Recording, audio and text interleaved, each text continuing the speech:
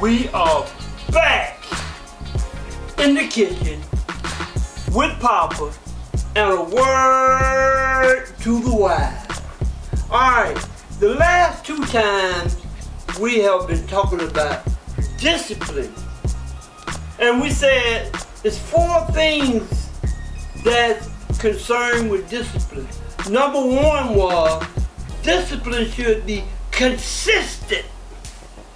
Number two was discipline should be positive. Number three is discipline should be individualized. Individual. All your children are individuals. They have uh, a sense of individuality. I, I raised three children, two girls and one boy, and the discipline was individualized. Everybody didn't get in trouble for the same thing.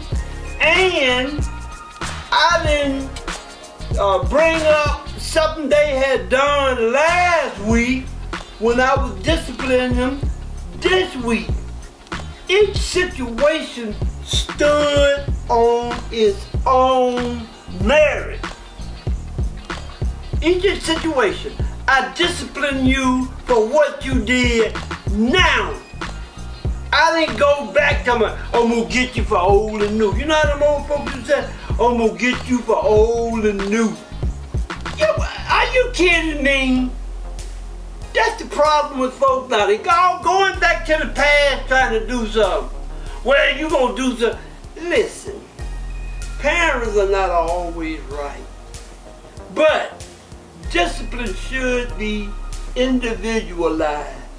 Each child should, don't say, if you don't tell me who did it, I'm gonna get all y'all.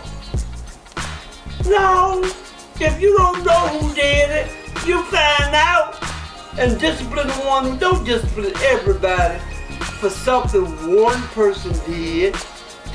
That's not right. Discipline should be individualized and uh, it should be positive and it should be consistent. That's it. Today, let me put that down. In the kitchen with Papa, and a word to the wise.